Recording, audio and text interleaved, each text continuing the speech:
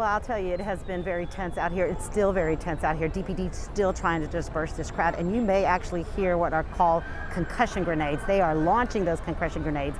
That's kind of scaring the crowd a little bit, so people disperse. You can see behind me, DPD is setting up uh, what they call the crime response teams. Uh, they have been going back and forth with some of the protesters.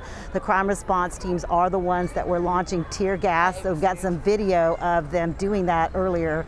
Uh, here's some of that footage. This was right at the corner, right in front of the federal courthouse.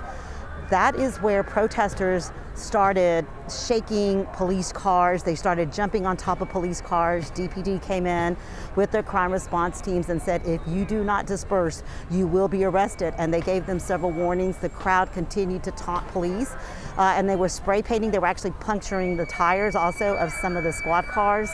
And then they also started to throw rocks at those officers and at the squad car. So DPD uh, launched those uh, tear gas canisters, about 30, 40. I've never seen Dallas police ever do this in any kind of march or protest. This is the first time, and I've covered DPD for almost 20 years.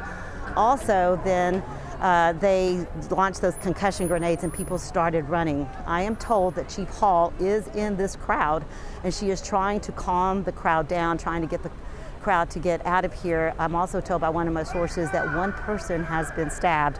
Now, I want to go to the footage of the freeway because this is what DPD was really trying to prevent. They did not want protesters to get on the freeway because that endangers the lives of the protesters as well as the officers who have to get on that freeway. They were trying to keep that from happening, but some of the protesters did make it over to the freeway. Now, let's go back to the chopper because I want to show you that there's still a huge police presence out here. They're telling people right now, clear the area, clear the area. A little while ago, there was a DART bus and they were beating on that DART bus. They were throwing rocks at the DART bus. Also seen now that Department of Homeland Security has shown up, so officers, federal officers, are also coming in to assist. But this all started off just kind of calmly in front of Dallas Police Headquarters, and that's where my colleague, uh, Teresa Woodard, is standing by now.